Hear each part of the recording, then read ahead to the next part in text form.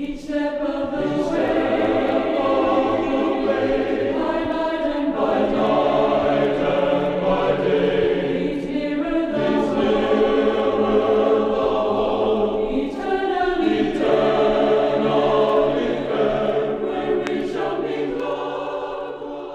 in a study in this class entitled General Bible Introduction. Uh, what we are really talking about are three things. First, the inspiration of the Word of God.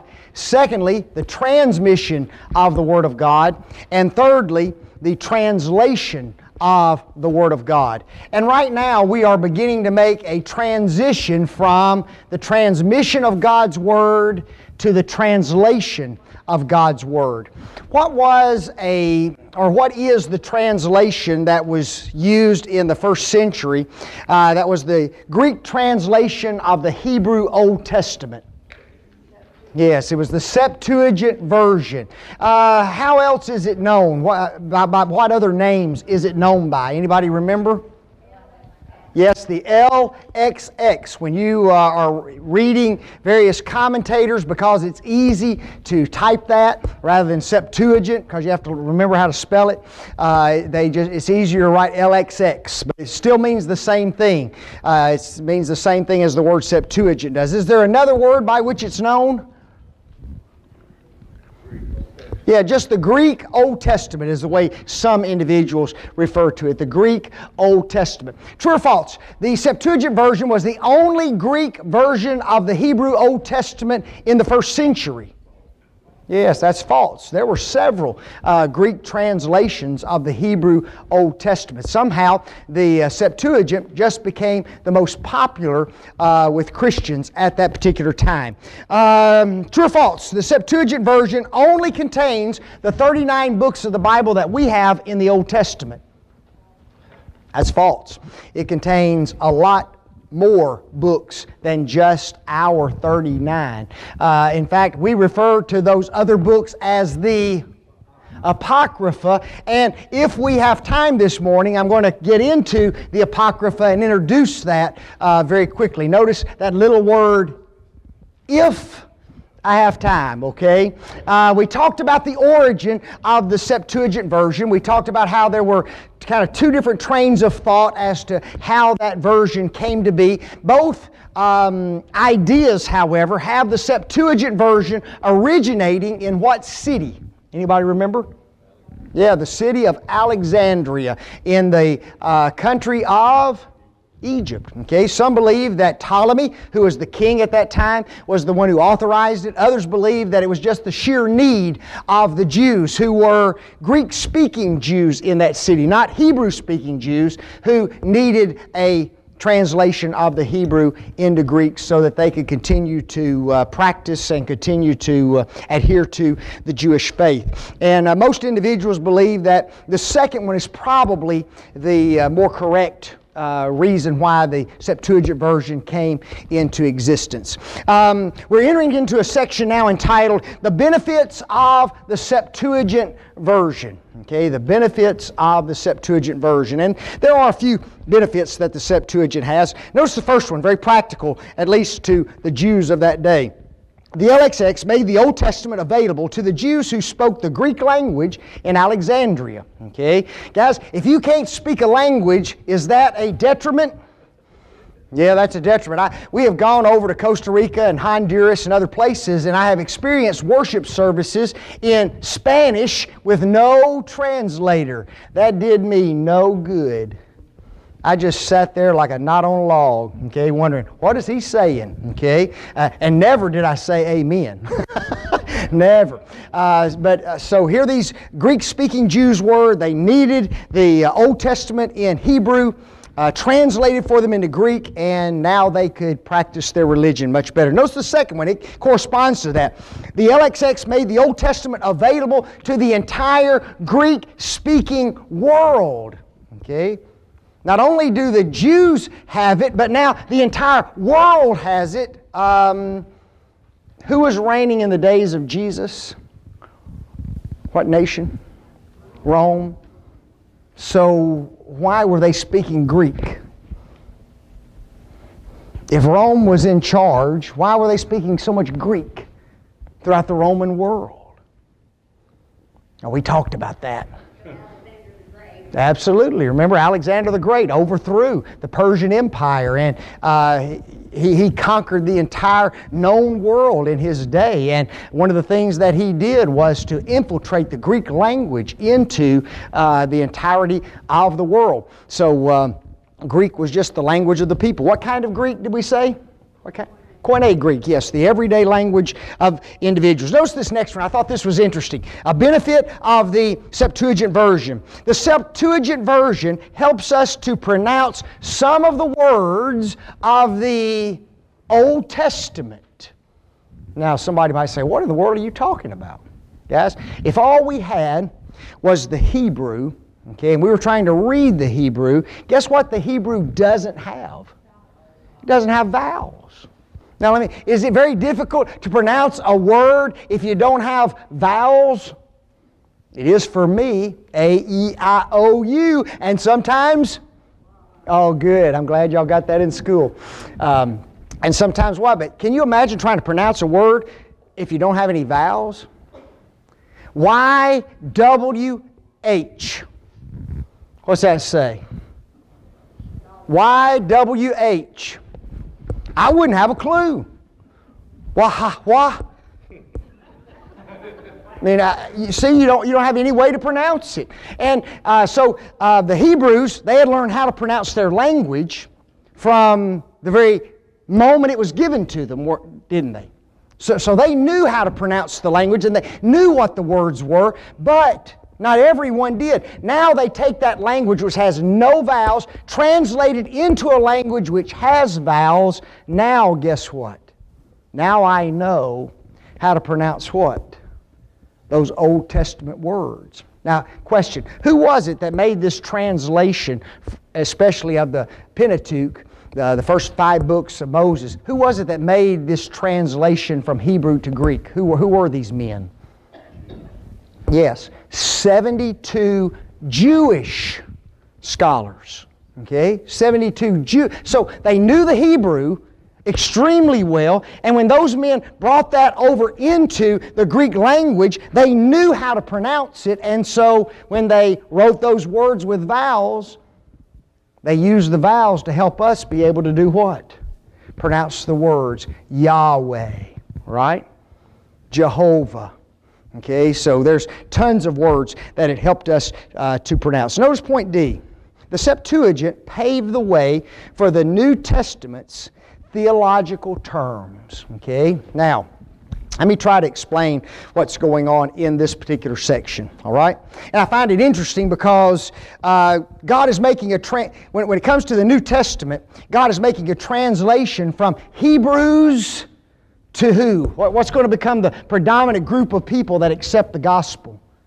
Greeks. Okay? Now, question What was the background of the Greeks religiously? Poly. Yeah. Polytheism, paganism, idolatry, right? Now, here's what's interesting about that particular religion they use many of the same terms that Christians Jews. Okay? Guys, they speak about righteousness. They talk about mercy. They talk about law. They talk about propitiation. They talk about wrath. Okay? So here you are, you've got all these Greeks over here that have grown up in paganism and they've heard all these words, all these theological terms, but they understand them in their relationship to what? Paganism. Okay? Paganism. Those same words were used in the Hebrew Bible righteousness, law, mercy. Okay? But guess what, guys? God used them in a totally different way than who did? Than the Greeks did. Okay? But now all of a sudden, guess what? We take that Hebrew language that doesn't use these words the same way, we translate it into the Greek language. Now we're making a transition from Hebrew into the Greek. when the Greeks start reading the set, or, yeah, when the Greeks start reading the Septuagint version, they're reading the definitions as they were found in the Hebrew Old Testament. You see what I'm saying? Okay. Didn't have so so now when you go now when Paul he leaves and he goes on his missionary journey to who? Who's he predominantly go to? The Gentiles, right? Okay. Uh, these individuals have read some of the what? Septuagint version. They, they've read the Old Testament Septuagint version. Now it's not as hard to get them to understand New Testament concepts because they've already learned some of that from what? From reading the Septuagint version. Does that make sense? That, that's what that point right there means. So I hope that I've illustrated that or explained that well enough. It's kind of a transition volume, okay, to help the Greeks understand theological terms, not as they grew up with them, but as God had revealed them in the Old Testament. Okay, so it, it puts a, uh, very interesting spin on the Septuagint. Notice the next one. And this is the one that I love and that I like to talk about more than any of them, okay? Um, the fact that we have the Greek translation of the Hebrew Old Testament by what date? Anybody remember? When was it completed? Anybody remember? Around? Yes, 132 BC. Now, guys, get that. Okay? Here we've got the Septuagint version, which includes all 39 books of the Old Testament. We have it fully translated by 132 BC. That's 132 years before Jesus is going to be born. That lets me know that all prophecy of the Old Testament was done, it was written, it was here, it wasn't going to be revealed at a later date. It was already here. Is that important when it comes to prophecy?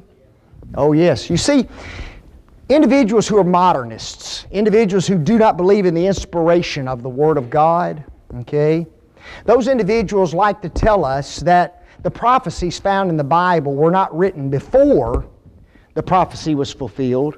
They were written when?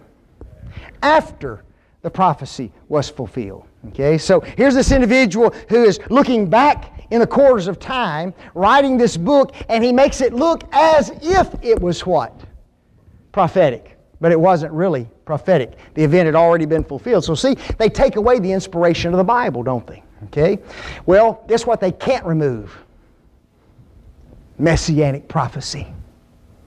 Every messianic prophecy of the Old Testament was written, I know, at least 132 years before Jesus got here. None of it was written after his birth.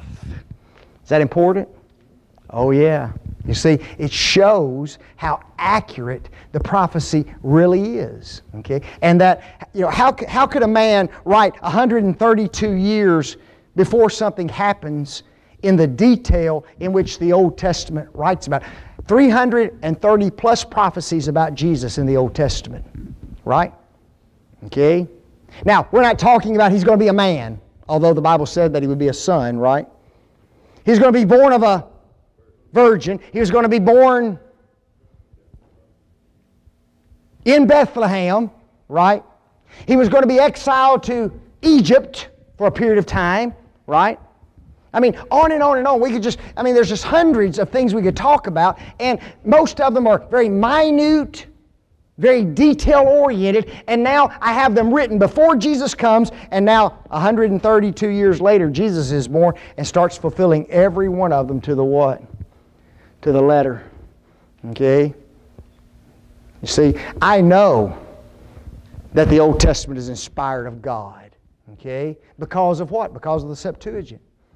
It was translated 132 years before Jesus came. So, uh, very, very interesting uh, thing. Notice this next one. Uh, the Septuagint has been consulted by other translations. Okay, so um, when individuals are going to uh, make a translation into another language, one of the sources that they consult is guess who? The Septuagint version. Uh, is that wise or unwise? Probably better to look at the original than the translation. Okay? But who translated the Septuagint? 72 Jewish scholars who were scholars of the Hebrew language. So it's not really a bad thing, okay? Now, it's not to say that we need to make our full translation from the what? From the Septuagint. But it's wise to go and consult the Septuagint sometime to see how those Hebrew scholars made a translation. Okay, no, nothing wrong with that. You know, uh, what does the Bible say? That in a multitude of counselors, there's what? There's wisdom, isn't there? And so uh, it would be wise to do that. And uh, what's interesting is there's very few Bibles on the market today in English that have consulted the Septuagint. Very few. Okay? Because uh, for the most part, um, the uh, Protestant community, and I use that term, you know, very broad and general, uh, and I use it uh, in distinction to Catholics. Okay? The Catholics still use what? the Apocrypha, which came from the Septuagint. Okay, and one of the reasons they use the Apocrypha is because it was in the what? Septuagint. Okay, and for the most part, Protestants, and, and you know, I'm just meaning not Catholic, um, they have rejected the Septuagint version, and therefore, when translations are made by those groups that are Protestant, they, they just refuse to do what? look at the Septuagint version. Okay, but there are a couple uh, that are in existence. Notice the Old Latin, the Slavonic, the Syriac, the Old Armenian, the Old Georgia, and the Coptic translations. Uh, all of those are in foreign languages, even to us. They all consulted the uh, uh Septuagint version. Uh, the New Jerusalem Bible and the NIV both consulted the Septuagint version as they were making their um, translations. And I'm not saying that's a bad thing, okay? I, I think it's okay to make some looks and see, uh, but they're about the only two of the more modern versions that did use the uh, Septuagint. Any questions? Comments? See, that's called perfectly executed teaching when there's no questions, okay? Or you're just as confused as ever and you don't want to say another word. Maybe that's the one. Uh, notice point number six, okay? This is very interesting right here, guys. And uh, I am not a scholar on any of this. I, am not a Hebrew scholar. I'm not a Greek scholar. I'm not a Septuagint scholar. You know, I, I just I know a little bit of Bible, okay? Um, but one of the questions that is asked is, did Jesus and did the apostles and the inspired writers of the first century quote from the Septuagint version. Okay? That's interesting, isn't it? Now, remember, the Septuagint version was written in 132 BC. So it was here when Jesus was around. What language did Jesus speak? He would speak Greek. Okay, he would speak Hebrew too, right? Uh, so, so I mean, he knew about the Septuagint, wouldn't he? Okay, because it was one that was uh, used quite a bit. So um, it wasn't like it was hidden from him at all. And so the question that many have asked is in our Bibles today, did they quote from the Septuagint version? And here's the answer it all depends on who you ask. Okay? Now, to really know the answer to that question, you would have to be pretty well versed in Greek and Hebrew. Okay? I've given you two quotes. Okay? Here's the first one.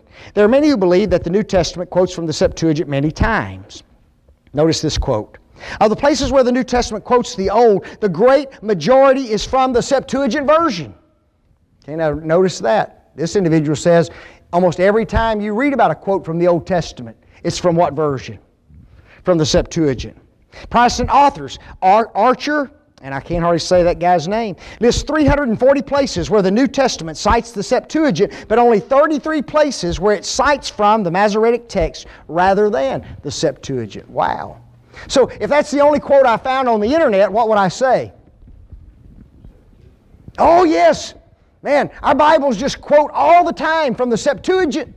Well, notice this others. There's some who do not believe that the New Testament quotes from the Septuagint at all. The claim that Jesus and the New Testament writers always use the Septuagint to quote from the Old Testament is without biblical evidence. How do you like that one? It is also, it has been said that in the New Testament there are about 263 direct quotations from the Old Testament. However, many of these Old Testament quotations in the New are significantly different from the Septuagint. If Jesus and the apostles relied on the Septuagint for all their Old Testament quotations, such a difference would not have resulted. Okay? So, in other words, when you compare the Septuagint to the Greek uh, manuscript, yes, there, there's some similarity, but there's also what? There's also difference. Okay? Now, those who want to think that uh, they did quote from the Septuagint, look at the similarities. Those who don't want to believe that Jesus and them quoted from the Septuagint, look at the differences. You see? So that's where, that's where this whole thing comes into play. Now, here's what this man goes on to say, and the reason I quote this is because I believe this part of what he says. There was no need for Jesus and the New Testament writers to rely on the Septuagint to quote the Old Testament. Jesus himself was the author. he was the author of the Holy Scriptures. He could quote Hebrew Scriptures and translate them infallibly into Greek. Isn't that true? As far as the apostles were concerned, the Holy Spirit was their chief aid who supervised their writing of the Scriptures. There was nothing against them citing Old Testament and translating the words into Greek themselves. Let us be mindful that both Testaments were inspired of the Holy Spirit and that the Spirit was the infallible author. Now that's what I like. Okay? I believe that. All right? Yes, sir.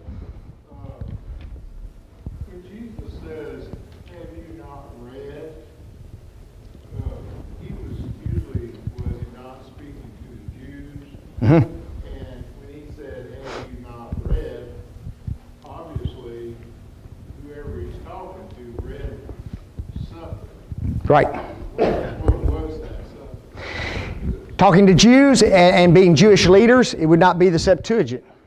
Okay, it would have been the Hebrew Old Testament. That's what was read in the synagogues okay, was the Hebrew Old Testament. And the Hebrew Old Testament was being uh, developed as far as a canon is concerned, it would be called the Masoretic text, but it would not be fully canonized until 100 AD. Okay, but most of the time, if Jesus says, Have you not read? he'd be talking about one of the, number one, he'd be talking about one of the Old Testament writers, right? One of those 39 books. And most of the time, he'd be talking about the Hebrew Bible that those individuals would have at their disposal. Yep, not the Greek. Uh, if, if, when he asked that question uh, to a Jewish leader, okay, for certain. Uh, very interesting. Notice a few points and we'll conclude. Um, the Septuagint version did and still does exist. You can order you a copy today if you want to. Cost you about $65, $70. I was going to order one. I said, I ain't paying that for something I can't even read. Uh, the controversy as to whether Jesus and the other New Testament writers did or did not quote from the LXX will always exist. You know that? Okay? I just know that what? The New Testament is inspired of God. You know, that's what I'm glad about. The Septuagint included the Apocrypha. These are books that are not included in our Bible. These are the topic of the next discussion. Folks, if now the Apocrypha is a little different. If you want to buy the Apocrypha, you can buy the Apocrypha. Okay, little bitty. Uh, mine even has, uh, it says this authorized King James edition. Ain't that a hoot? Okay, you can buy it in ESV, you can buy it in all kinds of, uh, of the languages that you want it translated in, but here's the Apocrypha. I brought this Bible. This is the confraternity version of the Catholic Church. And guess what's in here? What's in here? Well, almost. Okay? They don't have all the Apocrypha in the confraternity version, the, the Catholic version, but they have many of the books. And so next week you come back and we will introduce to you the Apocrypha. And see, I got notes that I was going to give you. I told you if y'all were not so long winded, we'd have gotten into it. But we'll get into it next week. So that'll do it. Go eat you something. Thank you.